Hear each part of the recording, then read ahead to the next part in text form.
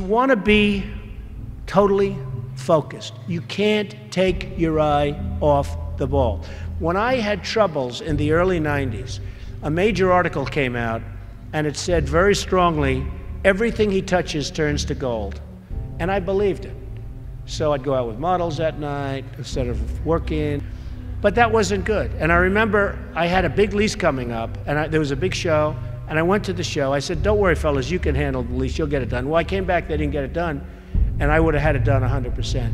And then the market crashed in the 90s. So I had trouble, but it was sort of an amazing, I wouldn't want to do it again. It was an amazing test of yourself. Can you handle pressure? How are you under pressure? Are you smart? You know, when, when everybody's coming at you,